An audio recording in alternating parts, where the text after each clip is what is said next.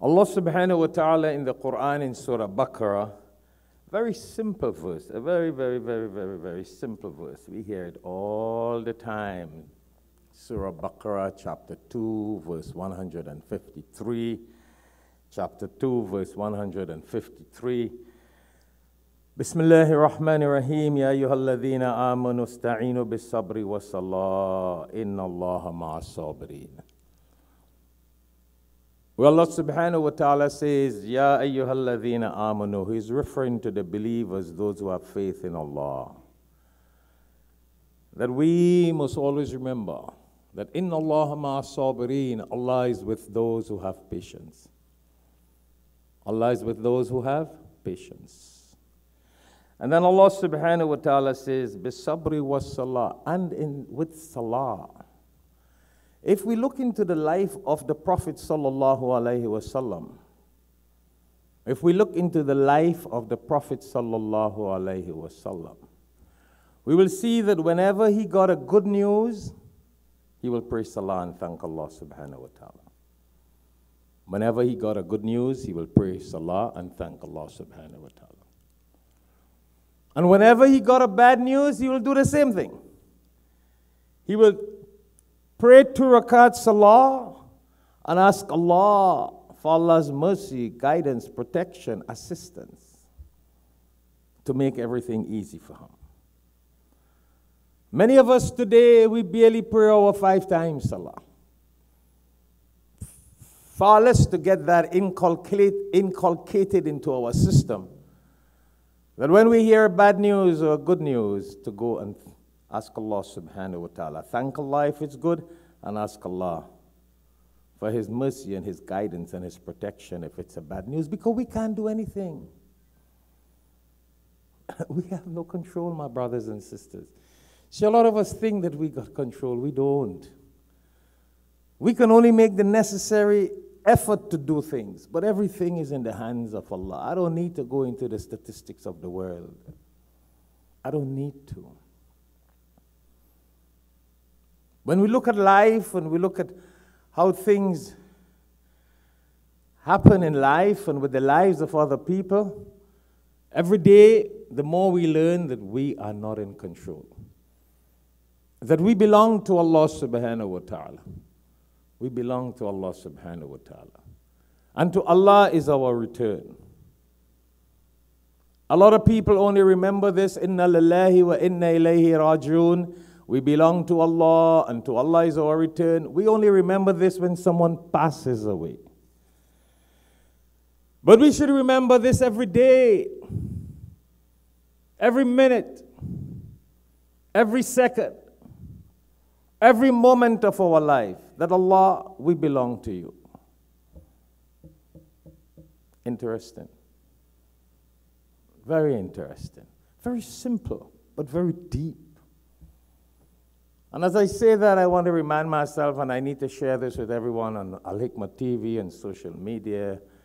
You know, I want to say a special Jazakallah to everyone locally, nationally, internationally, social media, for all your duas and all your kind words and all your support. My father passed away last week. Up to this morning, I had people calling me from all over the world, all over the world. It is really so interesting. I don't want to talk about it because I don't think I'll be able to continue talking about it. But I just had to say Jazakallah to everybody. you name it Africa, Arabia, London, all over the world. And you know, eh, it becomes very motivating, it does. And it really gives you that understanding that we belong to Allah to Allah is our return. Yeah, we're supposed to be, think of this every day, but it's really when someone passes away, the hakikat and the reality hits us. But we should not only wait for that, passing away of someone. Yeah. This life is a very interesting thing, my brothers and sisters. Very interesting. It has nothing like age. People who live consider that a bonus when you live over 60, 70. Use that opportunity to do good and to make tawbah. Make repentance and ask Allah for forgiveness. Because we can never tell when that moment will come when our soul will be taken away from us. We can never tell. Let it don't be too late, because that will be very late. The Prophet, peace be upon him, says, after we die, everything cuts, cuts, cuts, cuts, cuts. The only thing that continues after we pass away, after our soul is taken away from us, is that good deed that we did, that masjid or that school or that dawah or that well or something that we did and people will benefit from the good of it. That as long as they continue to bend, use it and people continue to benefit, the blessings will go to us. Yeah. That knowledge that we teach someone, we have been the means of teaching the Quran. We have been the means of spreading the message of the Quran. Yeah? Or we have been the means, we have been the means of sponsoring a Quran that someone reads. Oh, yeah. When we die, anyone who reads that Quran, anyone who benefits from that Quran, the blessings add to our account. And thirdly, that righteous child that we leave behind that will pray and do good deeds. Do good deeds, good deeds that we will benefit. You know, my father, not many people knew him. Not even here, nobody, people, one or two people knew him. But he had so many hundreds of people and hundreds of people in his funeral, it was like, wow. The day before, the funeral started, Hume started getting calls that they're going to be a big funeral tomorrow. The people call me and asking me, we know it's going to be big. We have extra preparation. We can't do the janazah today. It's going to be too big. They could not do it because they knew it was my father that passed away. Can you imagine that? The funeral calls me to tell me people are just calling them. And they can't do it today. It's too much preparation. Can you imagine that? He, nobody knew him. He wasn't Trump and Biden. He wasn't a millionaire and a billionaire. He just supported the mission of the Quran. That was all his mission. Whatever one, two dollars he had, he spent it towards Quran. People studying the Quran, distributing the Quran. Up to last year, he sponsored a well. That's why I went to Africa, because my dad and another brother here, brother, brother Siddiq in the back there, they sponsored a well at a masjid that we built for a family who passed away in Africa.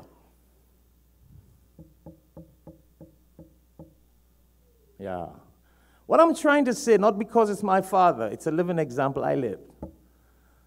And nobody came there because of me, came because of my father's good deed.